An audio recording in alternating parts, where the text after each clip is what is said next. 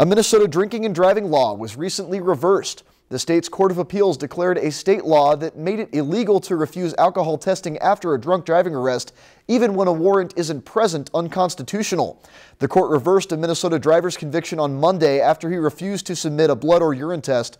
The change in urine testing follows a Court of Appeals ruling that declared warrantless blood tests in Minnesota illegal in October.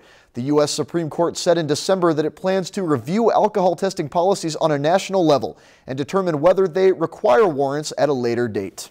If you've enjoyed this segment of Lakeland News, please consider making a tax-deductible contribution to Lakeland Public Television.